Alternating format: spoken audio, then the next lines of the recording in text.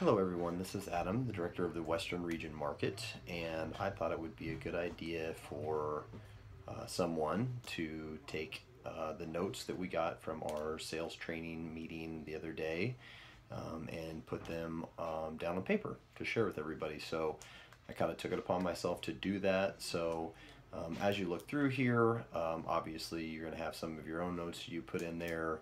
Um, you can take the ones that I have. Um, I picked through the slides from his presentation, um, inserted those into this document. Um, and the main reason that I wanted to put all this together for you guys is because I know that when you get back to your shops, you don't have time to do this. Um, you're busy taking care of what you got to take care of. Um, and so I thought it would be good for you guys to have somebody get this out there for you.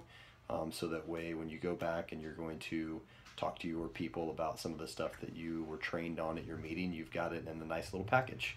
Um, so add your notes to this before you meet with your teams.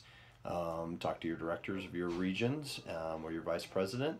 Um, it's really up to you what you do with this information, um, but I wanted to share it with everyone. And uh, I know that in my region, I want everybody to have a team meeting with all of their people about the stuff that they learned at this class.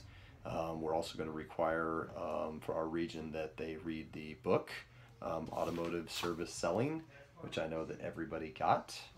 Um, so if you haven't read it yet, um, like I haven't either, um, uh, I think you should get into it as soon as you have some time. And uh, that's something that we're going to be working on in our region. So good luck with everything. Hopefully this helps. If you have any questions, feel free to give me a call. Thank you very much.